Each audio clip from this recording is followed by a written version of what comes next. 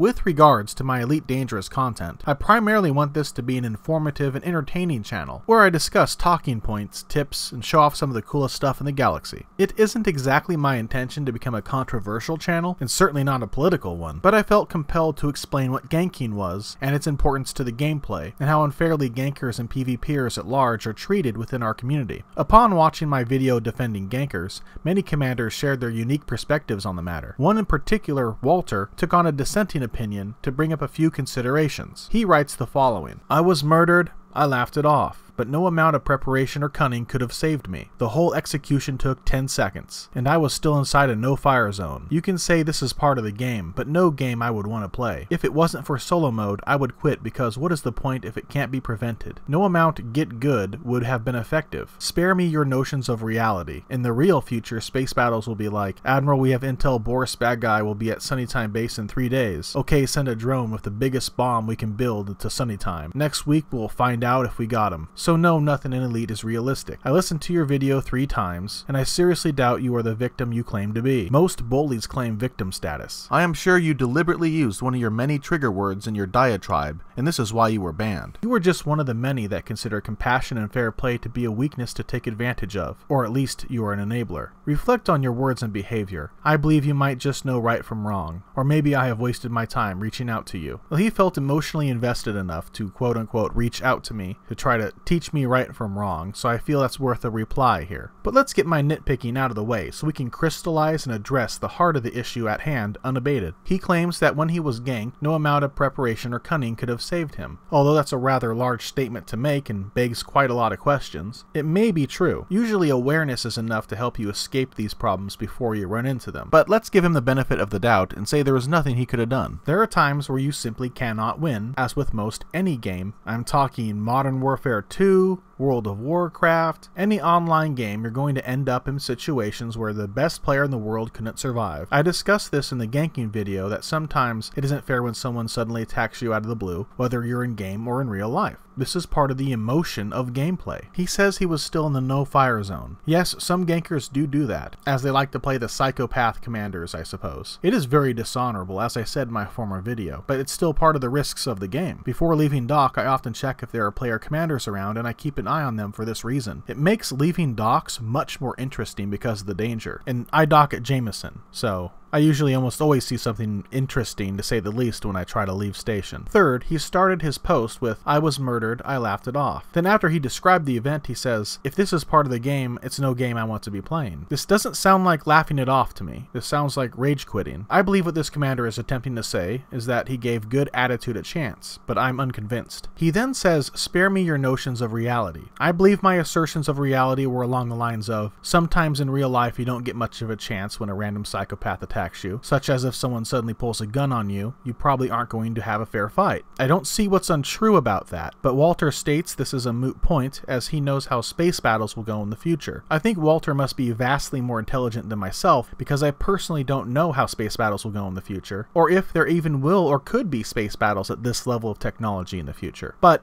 given what limited knowledge we have of space travel and warfare, Walter does give us an estimation on how he believes it will go, of course relating it to the large distance distances and time involved in space travel, and apparently bombing random stations to kill a single outlaw. But that's all fine and good. His point was that Elite Dangerous is not meant to be realistic, as in, it shouldn't have realistic danger either. My response to that is simply, eliminating these dangers wouldn't be fun. As I said in my Defense of Gankers video, I do believe that perhaps a balance shift might be indicated to give defenders a little more aid here or there, but overall the concept of being able to be ganked, that is, utterly destroyed quickly by a far more powerful opponent, is necessary to provide an actual atmosphere of danger in the game. I use the concept of having a gun suddenly pulled on you to illustrate how things aren't always fair in combat, not to say that we need Elite to be as realistic as possible. So I guess here Walter can spare himself the notions of reality. Next, he states he viewed my video three times, which I take to mean he wanted to fully understand my point of view before responding to it, which I can respect. However, then he says he doesn't think I'm the victim that I'm claiming to be. Now I question whether he watched my video much at all. I'm sorry, Walter, I'm no victim. At least not the last time I checked. I'm nobody's victim, in anything, ever, and I certainly didn't claim to be in the video. So as to what you're referring to here, I'm at a loss. But I'll do my best to satisfy your concern here. First of all, I've never once been successfully ganked in Elite Dangerous, unless I wanted it to be a setup for a video. I've always gotten away, so I'm not a victim there. Even if I ever do get ganked, I don't consider myself a victim of anything. It's just playing a game and I lost a round, as happens in games. That's what I mean to say when I'm never a victim. That's not my mentality. And I've been ganked in plenty of other games, like BDO recently, when I was fishing and people jumped out of nowhere and attacked my back when my best gear was off because I was fishing. But that was part of that game. And again, I don't consider myself to be a quote unquote victim in general, nor did I write letters to the developers complaining about it or try to get the people who ganked me banned. Reading further, perhaps you meant to assert that I was a victim because I, like all bullies, claimed victim status when I was banned because I used a trigger word. Listen very closely here, Walter. This bit is going to shock you. Guess what? I've never once ganked anyone in Elite Dangerous either. Nope, not one time. I've never trolled somebody in Elite Dangerous. I've never attacked somebody unprovoked in Elite Dangerous. I've never done anything of the sort. And guess what? I've never used a trigger word. And I haven't been banned from anything, Walter. I'm not banned on any forum, Reddit, any Discord. I have no warnings. I have no marks against me. Nothing. Where is it that I'm asserting I'm a victim? Could it be maybe I was simply standing up for others? Yeah, I do not like how gankers are treated. I do not like how they and other PvPers are banned for simply existing. I don't like free speech, trigger words or not,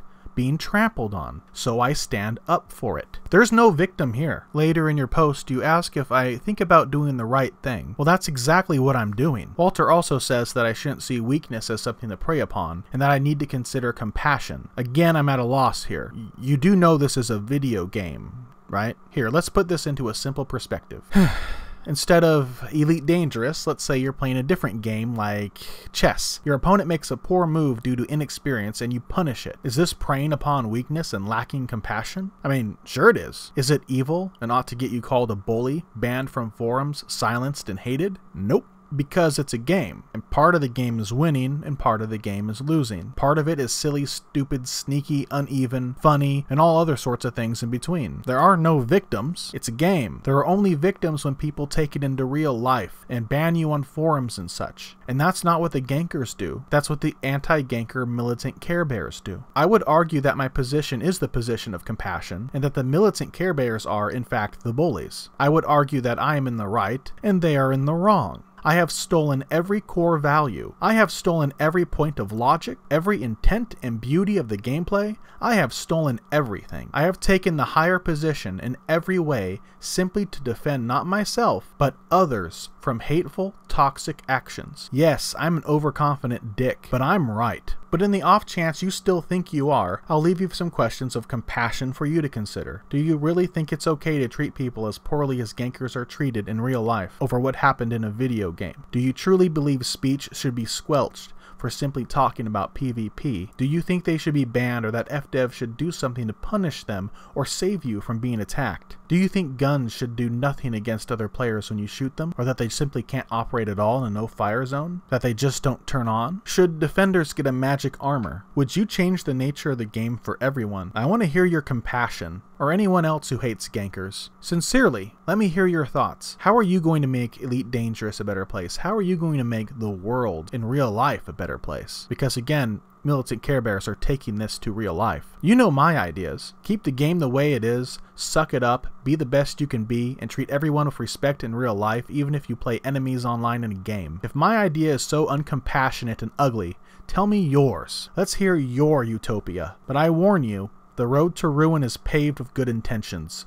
If you want compassion, let me and other helpful commanders know and we can fight for you in game. There are entire squadrons of players devoted for exactly that. I think that sounds awesome. I think that sounds fun, and I don't think that could exist if we eliminated gankers. But here's what I won't do. I will not save you with bans. I will not save you with hatred. I will not save you with complaints to FDev or with duct tape over your offender's mouth.